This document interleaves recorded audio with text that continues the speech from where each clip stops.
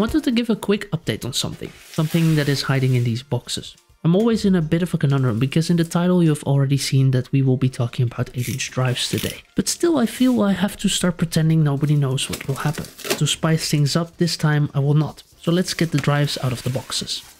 Where two weeks ago I showed how not to ship old computers with the Tandy 1400 HD that was abused by the Dutch Postal Service, seller of these drives packed the drives very well. I'm so happy to be adding these to my collection. I bought them from someone on the Dutch version of eBay, as a matter of fact the same seller as the Victor 9000 and some other stuff. These were never listed because the seller offered them to me.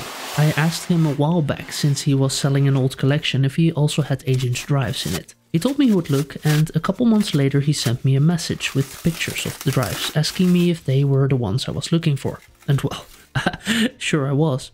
So here's the first drive. The belt is loose, but luckily not made from rubber as I hate cleaning up perished rubber. PCBs look really nice. We will take a closer look in a second, but first let's take the other drive out of the packaging.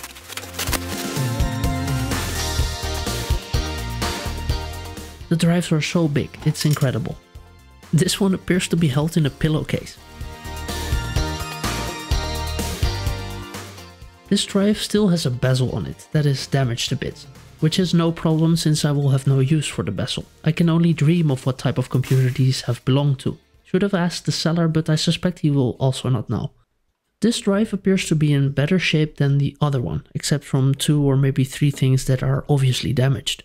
This was one of those purchases that made me aware again of my tendency of inspecting the pictures more closely after the deal has been made, because the damage on this drive I only noticed after the money had already been transferred. Not a big deal as I still see this as a good deal, since I paid a very nice price for them.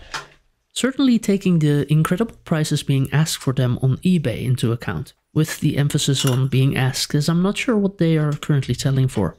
This part fell out of the drive. I'll have to find out where it belongs. Here are the drives next to each other. This motor is loose on the drive and here is another part missing that I'm not sure yet what it is. Because 8-inch disk drives are a very new technology to me. What a sentence to be said in 2024.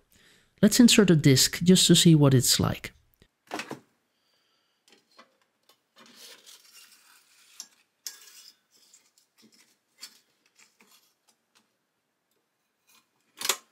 The mechanism stays down. It's clear that there's a lot of dried up lubrication on it.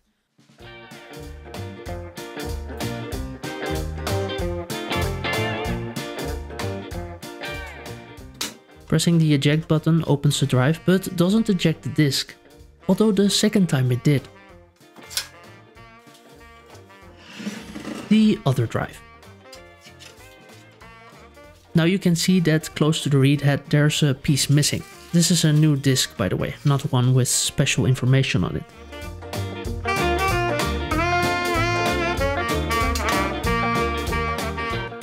I was happy to see that on this drive that the belt is still intact, which hopefully will make fixing them a lot easier. You can see here that it makes the parts spin. A nice shoe guard I see, one thing I still have to find is a connector that will fit on the 50 pin cartridge connector. The cable used in my Sanyo MBC 3000 is a different one. I think one of the first things that needs addressing is this rust-like substance on the metal parts. I hope that this will clean off nicely, but I fear that I jinx it by saying that. The main reason I got these drives is to see if I can archive my P5000 discs that I got some time ago, and of course some other discs in my collection. But first I'll have to find out if the drives are even compatible with the disks. That we will look at in a future video. Same applies to fixing the drives. I hope that these two drives can merge together into one functioning one. When it comes to that, we will dive a little bit deeper into model numbers, etc. For now, I will have to go and watch a lot of YouTube videos about this type of drives. Your suggestions and advice are very welcome in the comment section. For now, I want to thank you for watching this quick update.